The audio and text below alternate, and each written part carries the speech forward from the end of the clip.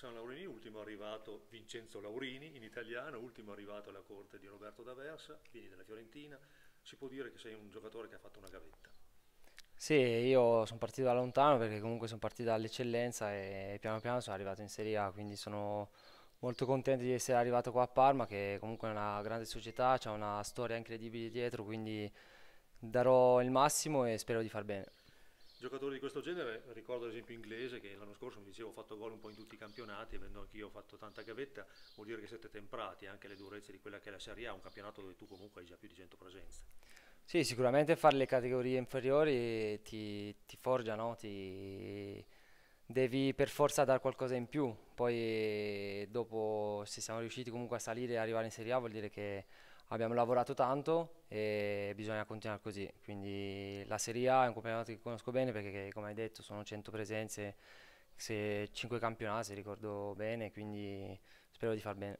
Tra l'altro hai avuto e la bravura e anche forse la fortuna di, di giocare sempre in squadre di un certo tipo, no? sia il Carpi sia l'Empoli, poi l'ultima Fiorentina, comunque società di un certo tipo che praticamente fanno anche un po' famiglia e quindi magari può diventare anche più facile per un ragazzo come te che pur avendo origini italiane veniva dalla Francia ti sei ambientato bene. Sì, ho sempre trovato squadre e gruppi comunque vincenti soprattutto perché comunque quando vinci campionati, vinci tanto, dà entusiasmo, dà qualcosa in più e quindi mi sono sempre trovato bene, le squadre dove sono arrivato sono sempre state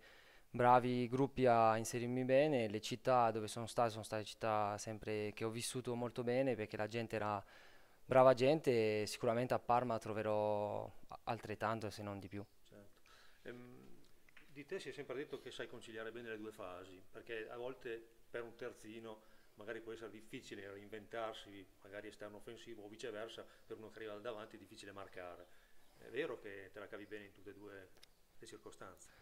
Ma io ci provo, poi eh, se riesco non, non, non, giudico io, poi penso che un terzino la prima cosa deve pensare a difendere perché gioca dietro, quindi il suo obiettivo principale è non far prendere gol alla sua squadra, poi se può dare qualcosa anche in avanti tanto meglio. Un anno fa eri stato accostato al Parma, sei mesi fa sembravi un passo dal Parma e adesso sei al Parma, insomma la trattativa un po' lunga. Sì, no, è vero che è un anno che se ne parla e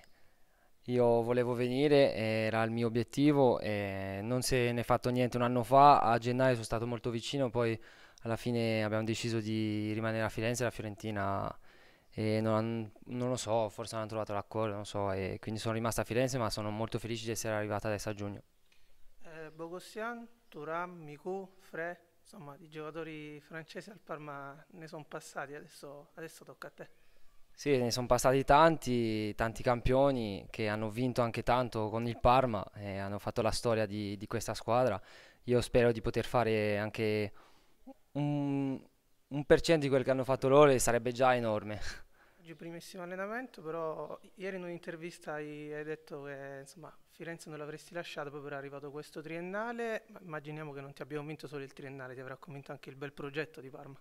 Sì, ma era un'intervista fatta comunque un po' di tempo fa che non poteva essere rilasciata perché appunto dovevo firmare a Parma, quindi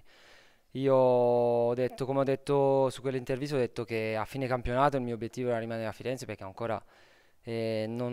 il mercato non era iniziato niente, poi ho avuto l'opportunità del Parma che è una grande opportunità per me e io darò il massimo per questa squadra.